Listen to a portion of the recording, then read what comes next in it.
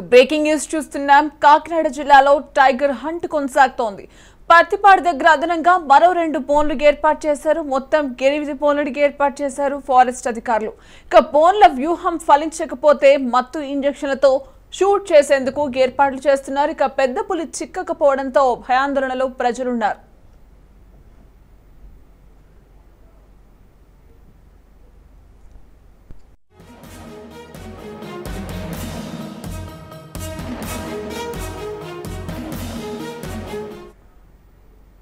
Right ఇదే విషయానికి సంబంధించి మరింత సమాచారం మా ప్రతినిధి సాంబశివరావు నాడు తెలుసుకుందాం.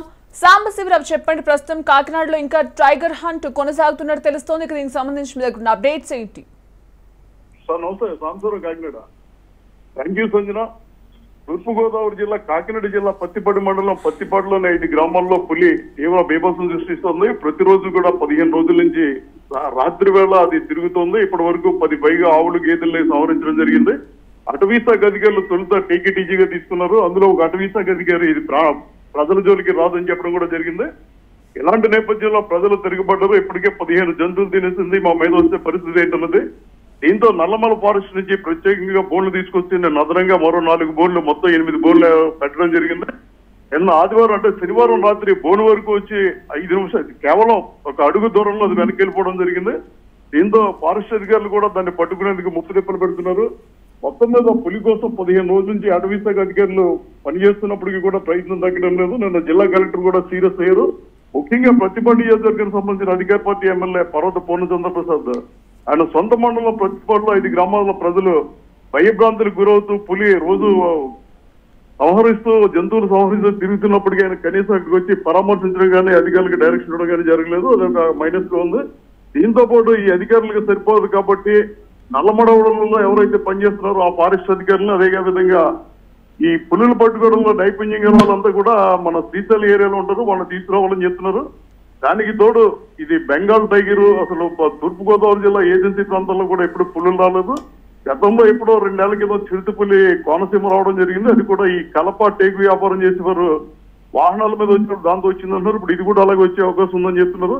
అసలు ఈ టైగర్ బెంగాల్ టైగర్ అసలు ఇక్కడ లేనే లేవు. జాతి అంతరించిపోతున్న సమయంలో టైగర్ వచ్చింది. దాన్ని సంహరించకుండా ప్రాణాలతో పట్టుకుని ప్రజలకు ప్రాణరక్షణ కల్పించాలని జిల్లా కలెక్టర్ కృతిక శుక్ల ఆదేశం జారీ చేయడం జరిగింది. కానీ ప్రజలు మాత్రం రోజు రోజుకు భయభ్రాంతులకు గురవుతున్నారు తీవ్ర ఇబ్బందులు పడుతున్నారు. లక్షలు ఖరీదు చేస్తే ఆవులు గేదెలను అది సంహరిస్తుంది. ఇది జరిగిన తర్వాత ఊరి మీద పడితే మా పరిస్థితి ఏమిటన్న భయం ఆందోళన వారిలో నెలకొంది. పది రోజుల నుంచి రైతులు ఎవరు కూడా పొలాలకు వెళ్ళట్లేదు.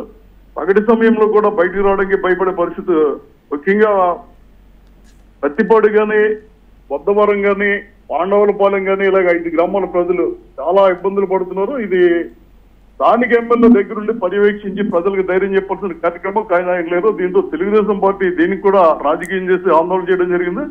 మొత్తం మీద పులిని పట్టుకు తీరుతామని ప్రతిరోజు అధికారులు ప్రకటించడం నూట యాభై మంది అధికారులు ఉన్నామని చెప్తుంటే కనీసం అక్కడ ముప్పై మంది నలభై మంది కూడా కనిపించట్లేదు. ఇలాంటి నేపథ్యంలో ప్రజల్లో తీవ్ర భయాందోళన నెలకొంది అయితే ఖచ్చితంగా అదనపు బోర్డులు పెట్టాం కాబట్టి ఈసారి ఈ రోజు రాత్రి ఎటువంటి పరిస్థితుల్లో పట్టుకుంటామని కొద్దిసేపటి క్రితం అటవీ శాఖ ముఖ్య అధికారి శరవణాన్ని ప్రకటించడం జరిగింది. Right thank you Sambasivarao